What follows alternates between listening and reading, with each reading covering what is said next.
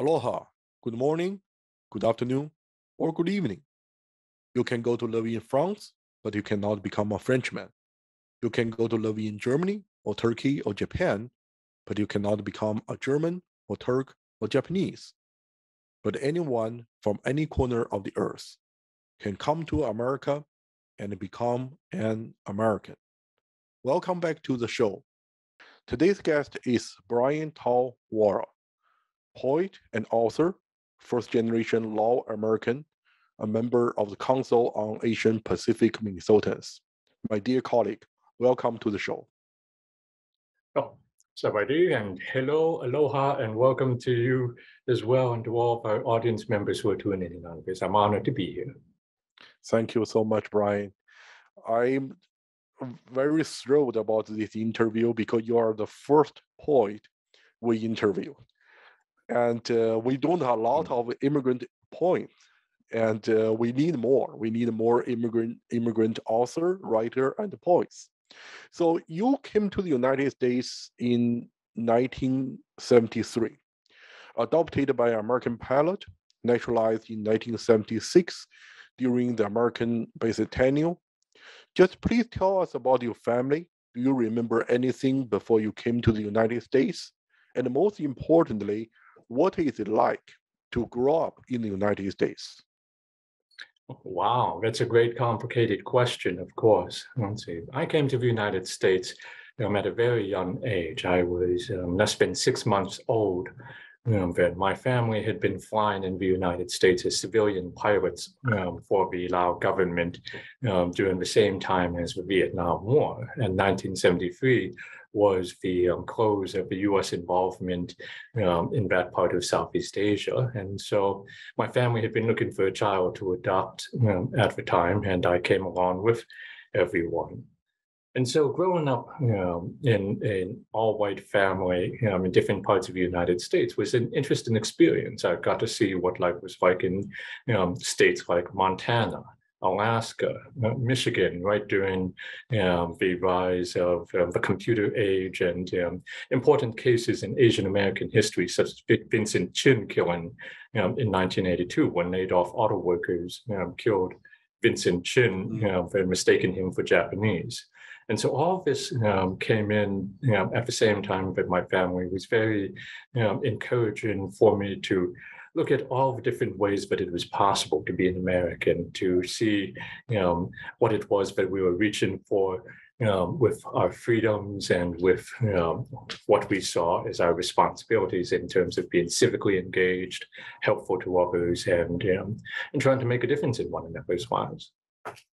Thank you very much. It's uh, uh, you, you came to the United in the 1970s, and that is about the same time Asian American identity is being formalized, I would say.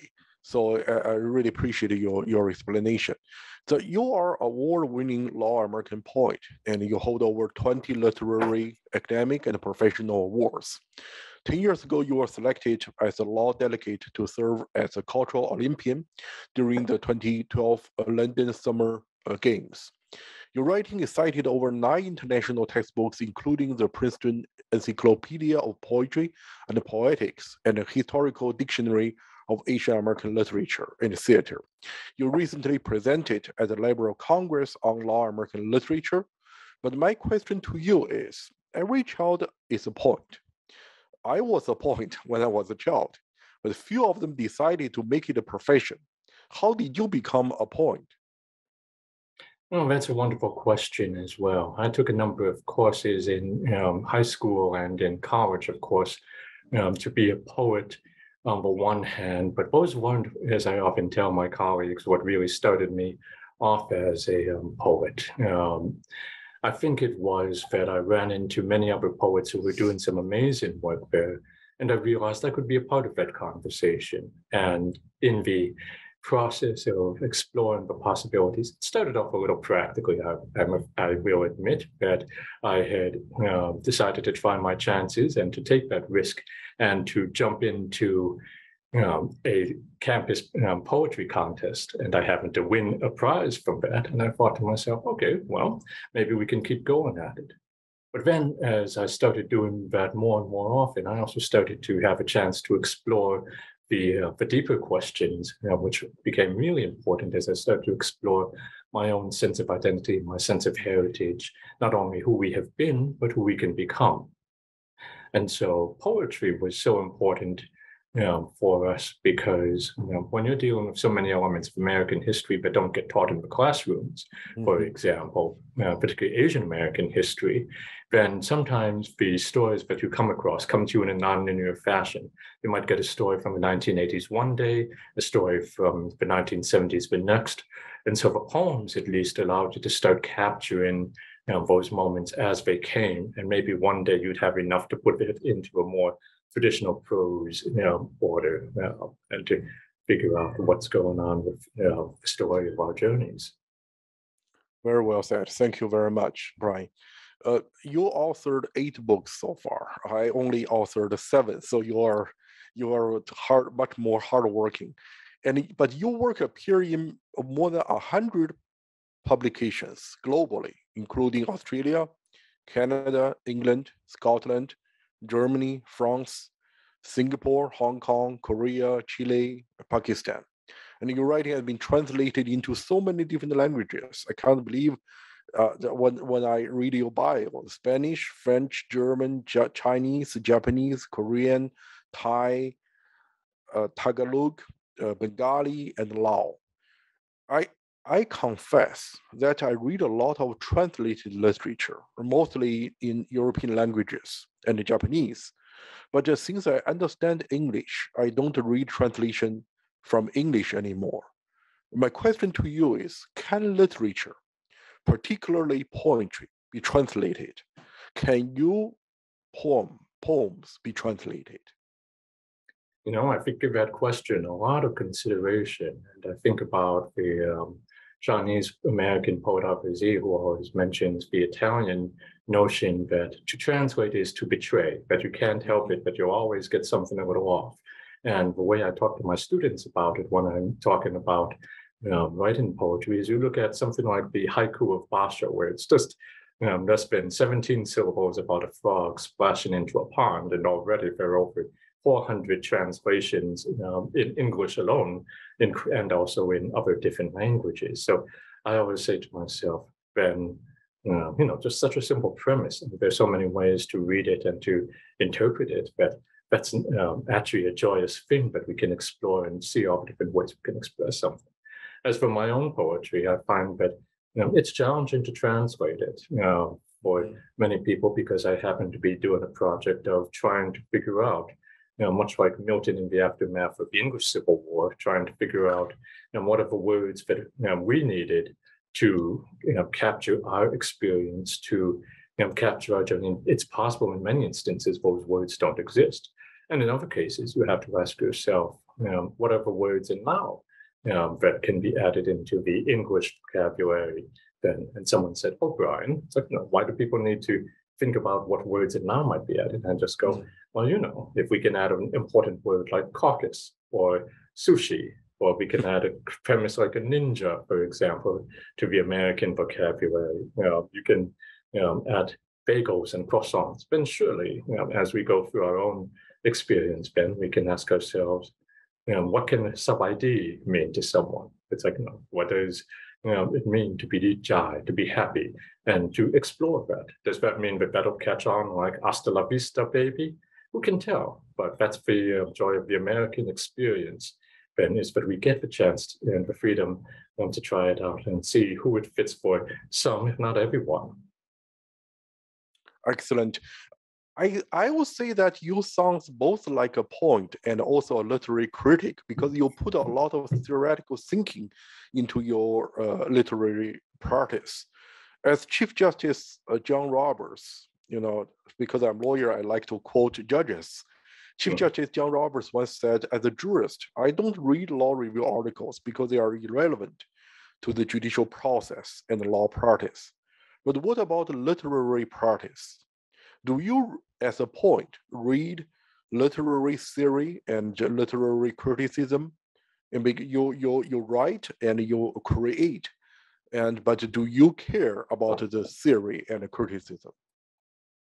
Well, that's a wonderful question. And I think the um, disappointing answer for many people will be that um, I will take a glance at it, but I try not to um, take it too deeply, too seriously. Then, to quote the um, old American film, The Big Lebowski, um, then when Jeff Bridges goes, "That's just your opinion, man." That's my theme.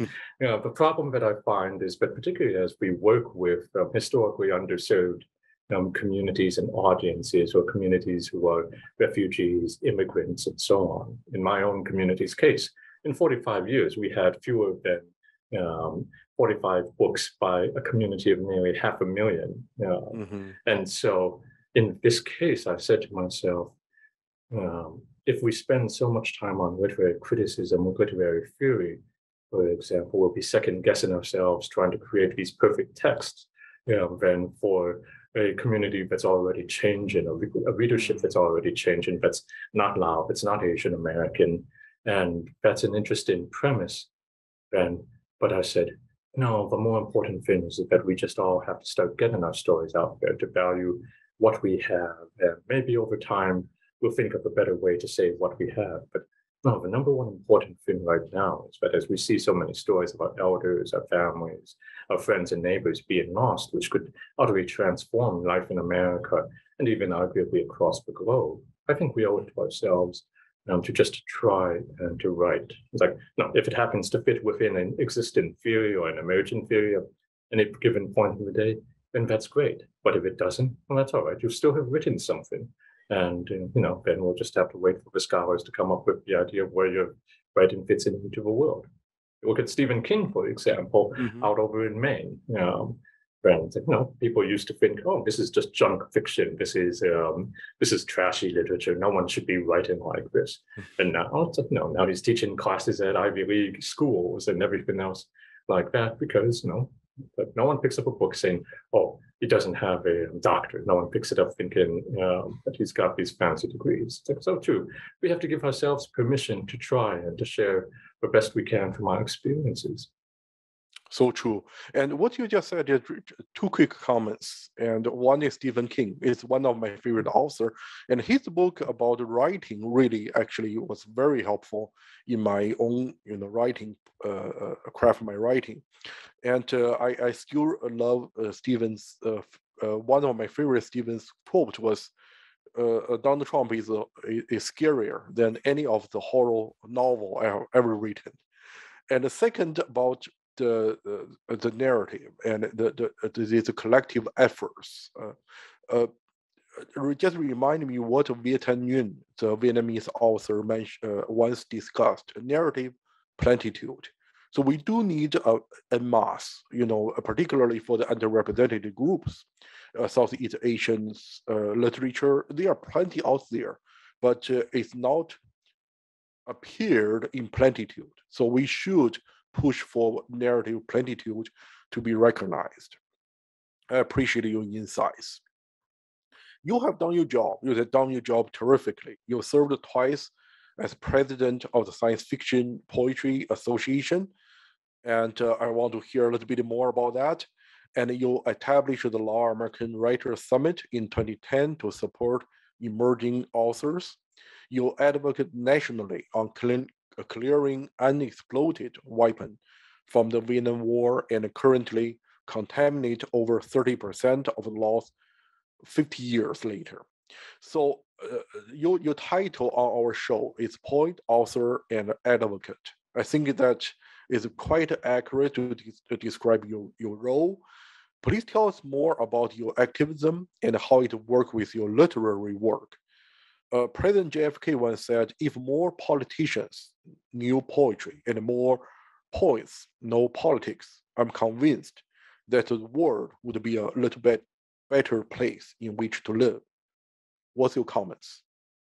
That's an excellent question. And I think JFK has it right. I think at the same time, there's always been a conversation in our community that um, you know, when you mix, you know, poetry and politics, you either get bad poetry or you get bad politics. And in worst cases, you get both. And I think that's a little bit cynical. I find myself saying that, in fact, um, but poets are essential to democracy. um, and, and you know, if you really want kind of a canary in a coal mine to see how well your democracy is functioning, you need to see what's happening for poets and how they're making their way through your community, through your society. As poets, for example, we don't really have um, a lot of um, setup requirements, say, compared to um, a full dance and choreography know, show, you know, a music concert or anything else like that. Oftentimes, it's a very solitary experience. Just you, maybe a traveling companion or so, um, and, and you're going through all levels of society, from the very wealthy to the very you know, poor. We serve as the eyes of our community. And, and you know, at the same time, I think that comes with that responsibility you know, to use our poetry to um, speak against injustice, to um, advocate for the best of what we're reaching for, even if we imperfectly reach for that. Um, I think the question was that you know, occurred to me is that I've seen a great many you know, prose writers write very eloquently about you know, the issues that concern them most. But as we saw you know, in my own work, then you know, time and time again, I felt that I've made some of the most effective change, you know, being able to um, capture something in 15 to 30 seconds. So the uh, poet Li-Young Lee used to talk about it a lot, that uh, line per line, inch per inch, more of the human soul is compressed into a line of poetry than in any other literary form. And I tend to agree with that. That uh, although I talk a lot about it, that in the end, in the final equation, what makes it onto the page and the paper you have to be kind of at laser point you know, precision then. Um, and at the same time, you have the ability for that poem to speak to the present as well as to the future. I actually had a great conversation the other day with some friends of mine, but I have come to view poetry as a bit of a time traveler. Mm. In that, you know, once you write it down, a, a, really good poem, the type of poem that um, changes your life and that changes your um, community and even arguably your nation or your world, is one that you know, meets the needs of the people at this particular point in time, but it'll also come again um, and people will find your poem when they need it most, oftentimes when you least expect it, centuries later, decades later, you name it. But that's the joy of the journey. Absolutely. It's, it's one a wonderful experience in reading poetry. I, I I uh, started my, uh, you know, every child was a poet or every child was an author. I, I wrote a lot of uh, poem when I was a, a, teenager. I still, now looking back, I said, wow, that's pretty good. It's, uh, mm-hmm. I, I, probably wouldn't be able to write it that good, you know, but, but the poetry is still pretty it, it different. It's, uh, and uh, looking at different literary genre, you know, poetry, uh, uh, poetry uh, essay, you know, uh, and uh, uh, novella, novel, uh, you know, non-fiction, non-fiction. Look at all of these different. Why you choose a poem and to be your primary tool to express yourself as an author? Hmm. That's a great question. I think there are many reasons why. I think it was that poetry was the form that as we were rebuilding our lives in the aftermath of the of the Laos Civil War and the Southeast Asian Wars of the 20th mm-hmm. century, I think the um, question that came to mind as I was doing um, work in our community rebuilding and um, with my fellow refugees and immigrants was that you know, a lot of focus was being given to preserving and recovering the traditional arts um, at the time dance, music, theater, all the complicated arts then. But at the same time, I saw that there was very little work you know, being done with people trying to really strongly advocate for the role of poetry in our lives. And you know, that was something where I guess I saw that, um, you know, history has um, shown that in this time, that what we're um, see, you know, certain things are going to always come up, that you're going to have um, let's see, the memoirs come up, and we have a lot of people writing you know, their, their short stories, their movies about you know, their family's journey. But the question is, is what's going to be the future that we can see ourselves in? How do we imagine that? And that's where the, uh, the poetry journey came in. Mm-hmm. Excellent point. Every point is a time traveler. I agree.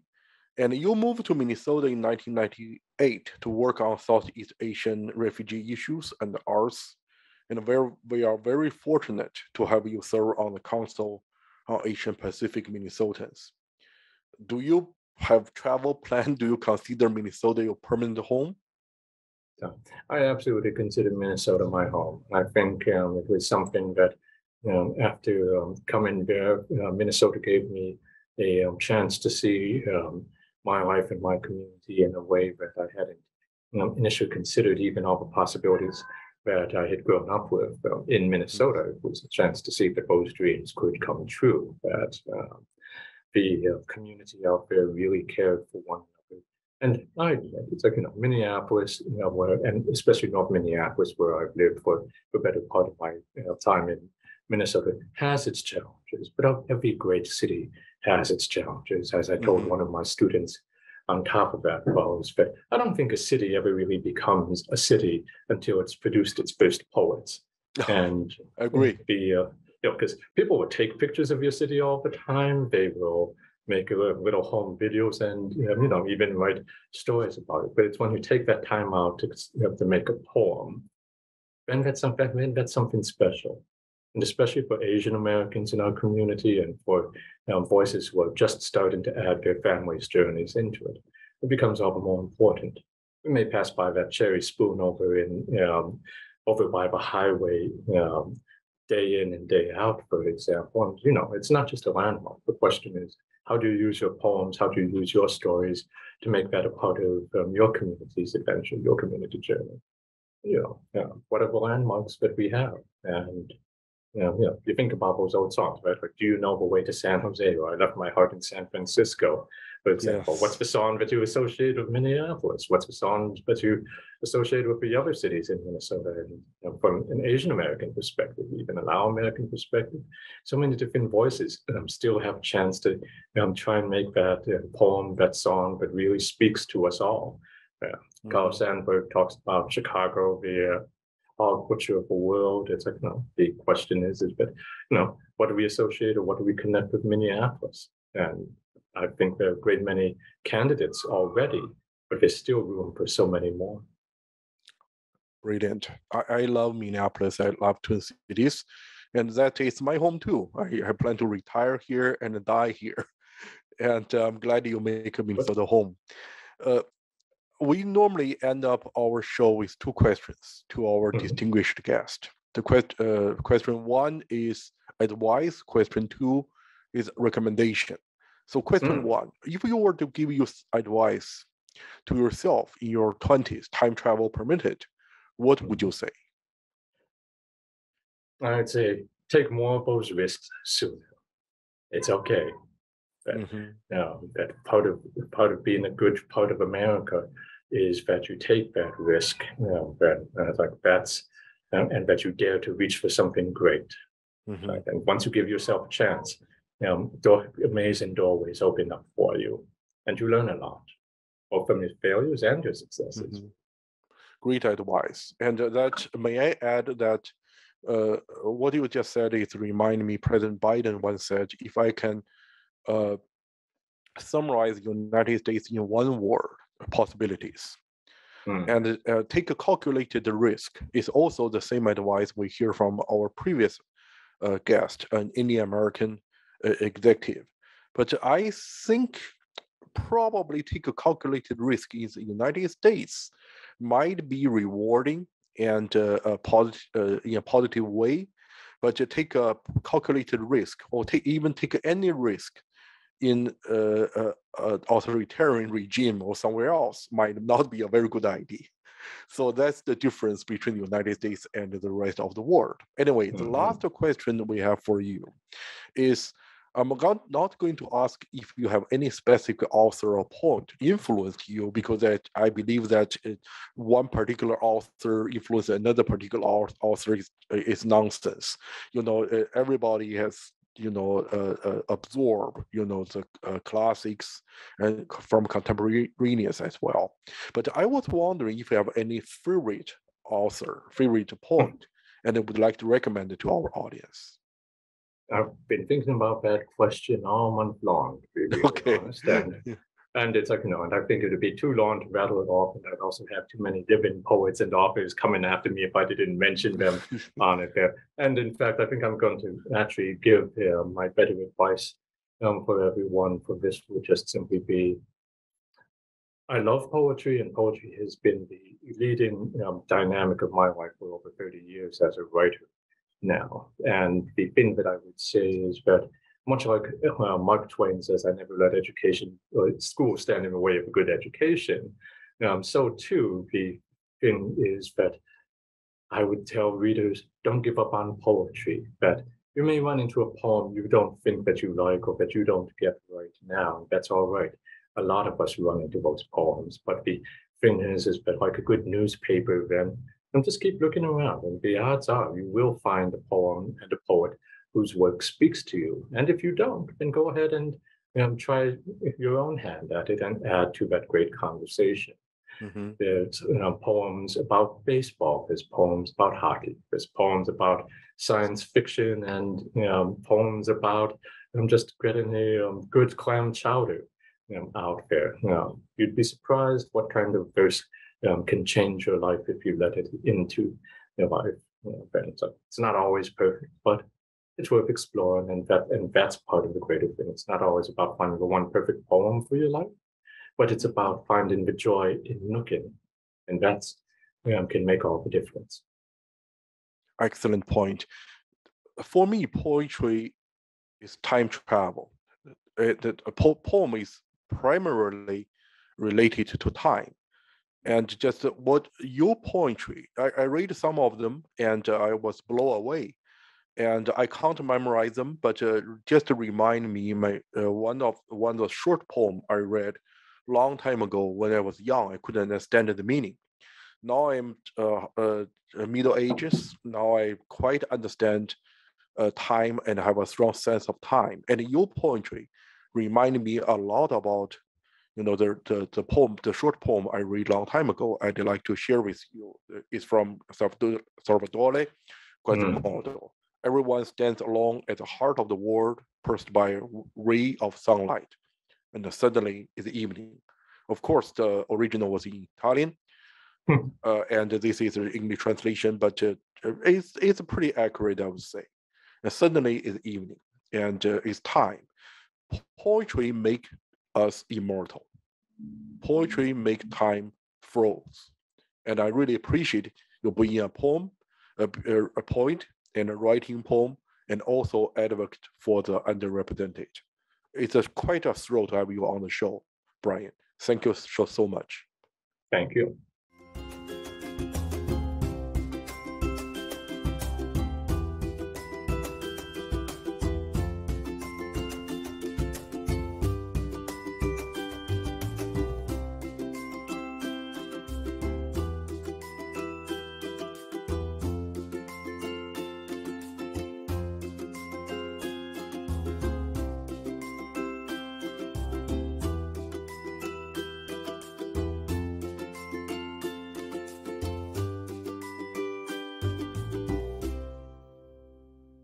Thank you so much for watching Think Tech Hawaii.